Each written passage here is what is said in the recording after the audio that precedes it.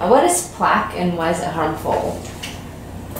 Plaque is a is a composition of many different things. It's uh, in your mouth. You have salivary glands underneath your tongue, in your cheeks, and on your palate, and everywhere basically in your mouth.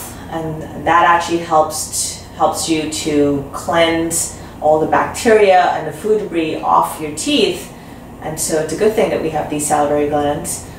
But um, in addition to that, salts and um, enzymes that's in your saliva and proteases that's in your saliva, um, all of these things deposit a film on your teeth. And we call, in dentistry, we call this film biofilm.